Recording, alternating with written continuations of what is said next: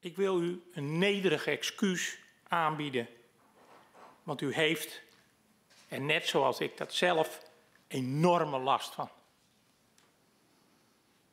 En ik bied u dan ook dat nederige excuus dubbel en dwars aan.